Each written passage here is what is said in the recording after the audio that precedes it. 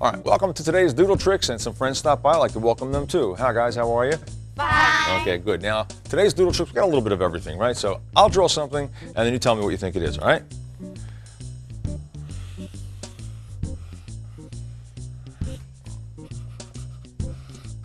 Who knows what that is? Light bulb. A light bulb, that's right. And who invented the light bulb? Thomas Edison. Thomas Edison, very good. But you know what? If it wasn't for somebody else, the light bulb wouldn't light up. Do you know who discovered electricity? Anybody? Benjamin Franklin. Benjamin Franklin. Boy, what a smart group. Okay, Benjamin Franklin also invented bifocals. Let's put them on his nose because we're drawing Ben. See that? Some squiggly lines and a smile for his hair.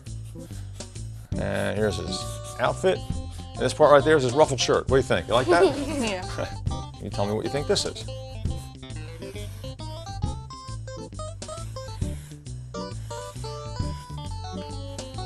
Who knows who that is?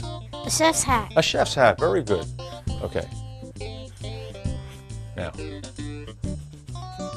some squiggly lines going out this way and this way. And let's see. This isn't making much sense yet, is it? I know, I know. Who knows what these are? I have no idea. But you know what? If we turn this over, we've got the chef. But of course, now we have to add another chef hat. like that?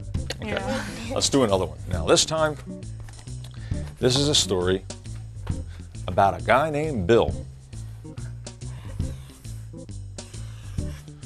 And Bill, well, Bill lived up on the hill. And he never came down to walk through the town. I think he's living up there still. Now, he wasn't that old from what I was told. I think, well, I think he was about 20. Now, as you can see, on his chin he had hair, but his head, it was bare. But when turned upside down, he had plenty.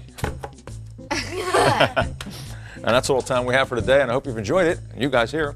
And for our tip today, may your refrigerator be covered with drawings. Right? That means you're practicing a lot, and it means that people are going to get to see it. That's for sure. I'm Bruce Blitzing. Thanks for being with me, and help me out, everybody. Keep on cartooning. There you go.